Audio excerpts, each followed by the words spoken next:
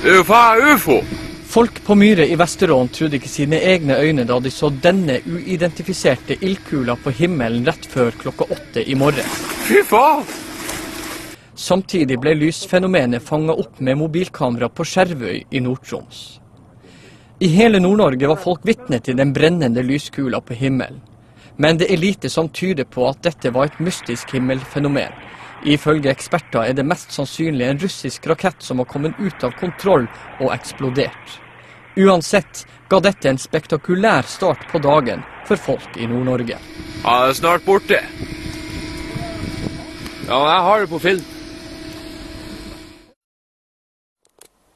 Filmer ifra Steira på Sortland.